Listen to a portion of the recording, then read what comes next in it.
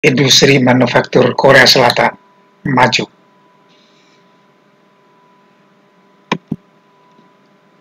Sistem pendidikan dan pelatihan tenaga kerja di Korea Selatan, khususnya dalam konteks industri manufaktur yang terus berkembang. Pendidikan dan pelatihan tenaga kerja di Korea Selatan fokus pada keterampilan dan inovasi. Korea Selatan telah berhasil membangun reputasi sebagai negara industri dengan industri manufaktur yang maju dan kompetitif di tingkat global. Keberhasilan ini tidak lepas dari komitmen kuat dan dari pemerintah dan sektor swasta dalam mengembangkan sumber daya manusia yang berkualitas.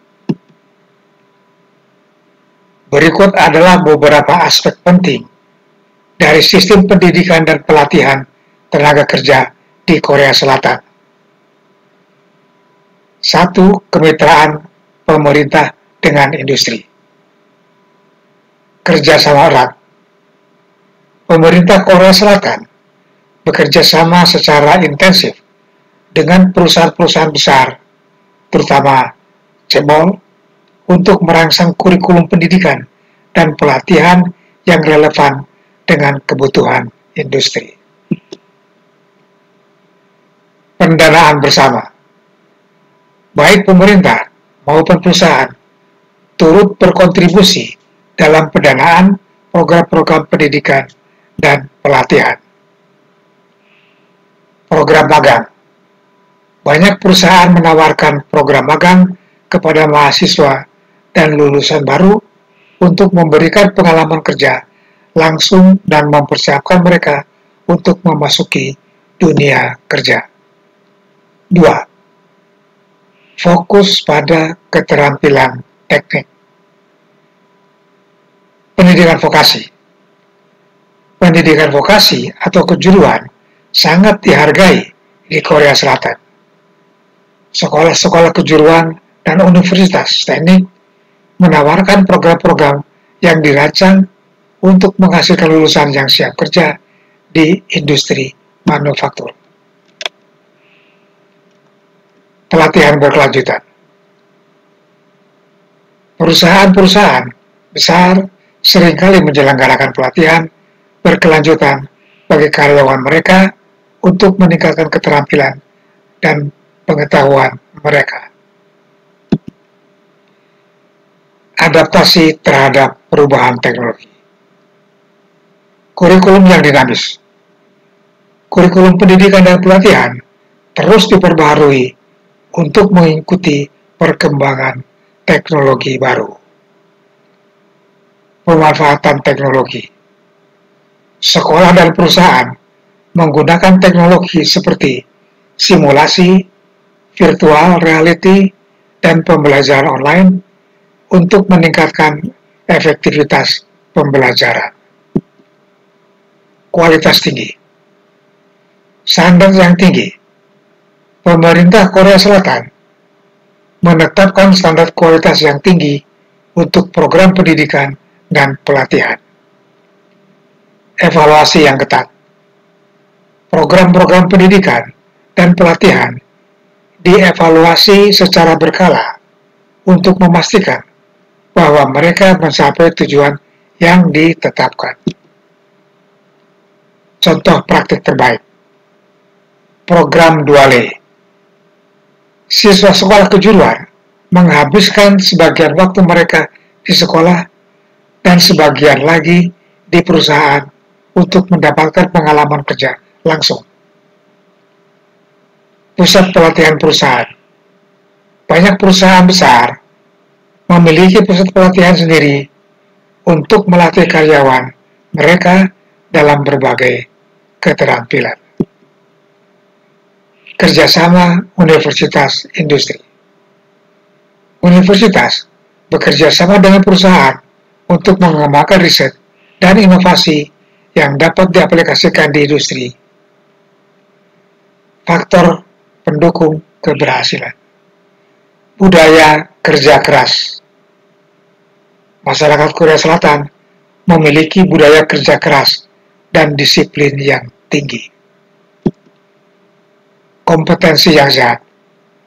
Adanya persaingan yang sehat antara perusahaan mendorong mereka untuk terus berinovasi dan meningkatkan kualitas produk. Dukungan pemerintah yang kuat.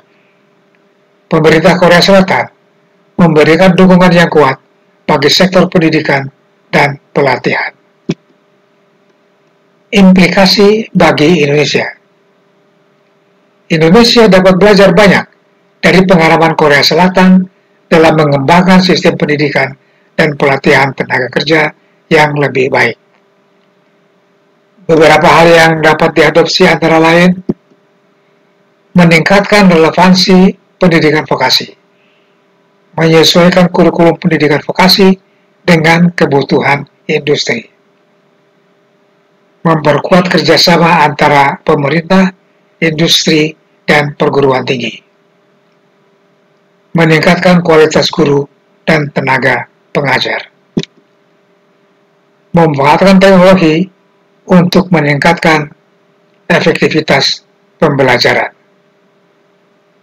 Membudayakan semangat inovasi dan kewirausahaan.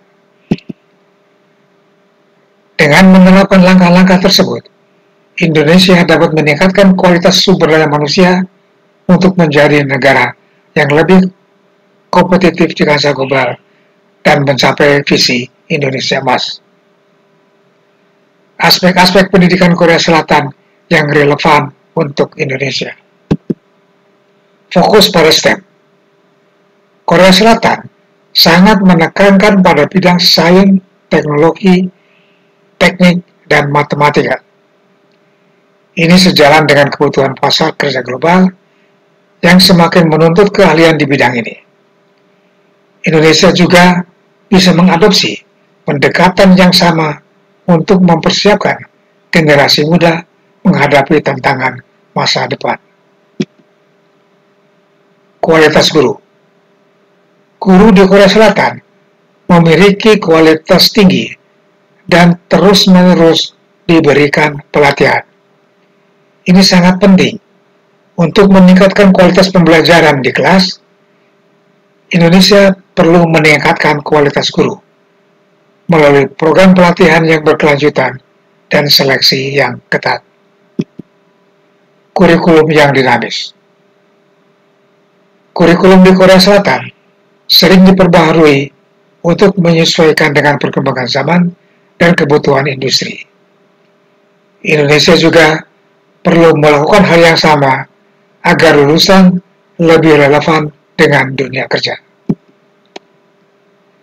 Teknologi dalam pendidikan Korea Selatan memanfaatkan teknologi secara maksimal dalam proses pembelajaran ini bisa berupa penggunaan e-learning, aplikasi pembelajaran, dan lain-lain.